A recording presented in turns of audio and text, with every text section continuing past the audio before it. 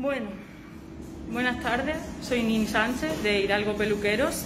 Estoy aquí dentro del. Soy una arrendataria del Centro Comercial Conquistadores.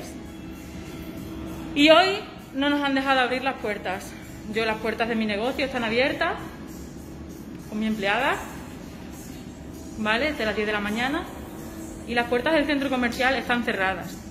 A las 10 y 20 he tenido que echar a mis clientes para atrás porque nadie abría la puerta del centro comercial, ni nos daba una respuesta de por qué no se abría.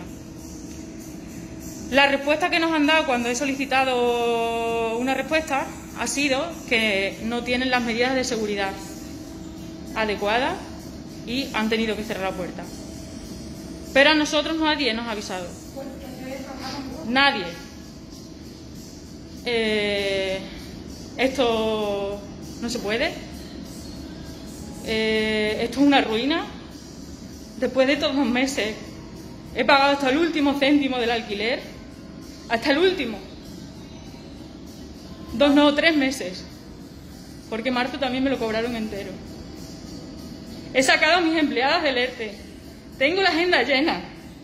Desde las 10 de la mañana hasta las 10 de la noche. De lunes a sábado. Para poder levantar cabeza. Y llegamos hoy aquí. Y nos hacen esto.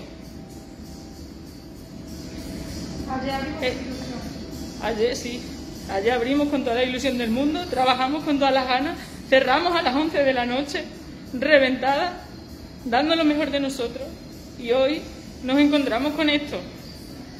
Yo cierro la puerta de mi negocio hoy porque aquí no pinto nada. No sé cuándo voy a poder abrir. No sé cuándo mmm, me van a dejar. No hay respuesta. De nada. Nadie me da una respuesta. Y quiero que sepáis que esto, el dueño del centro comercial, es Altamira. O sea, el Grupo Santander. A quien yo le pago el alquiler es a, a Santander. Y quiero denunciar esto públicamente, quiero denunciar esto públicamente, que se vea en todos los medios, que salga en todos sitios, por favor, compartir el vídeo, compartirlo. Porque esto no se va a quedar así, esto no puede ser. O sea, nosotros venimos aquí con toda nuestra ilusión, eh, pagando hasta el último céntimo y nos hacen esto. Y esto no puede ser. O sea, yo no puedo más. No puedo más. Lo siento, lo siento por mis clientas, tengo que cancelar todas las citas porque no sé cuándo me van a dejar abrir. No lo sé. De verdad por mi parte os pido disculpas a todas. Lo siento de verdad, lo siento.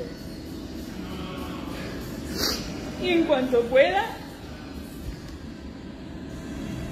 lo siento. Lo siento. Pero esto no se va a quedar así.